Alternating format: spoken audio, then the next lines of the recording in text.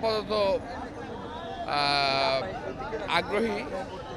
যদি দল মনে করে আমার দুটো আসনে করা দরকার তখন আমি একটা চিন্তা করব।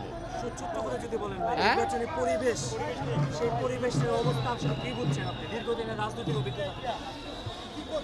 আজকে এই যে নির্বাচনের জন্য মনোনয়ন জমা দেওয়ার জন্য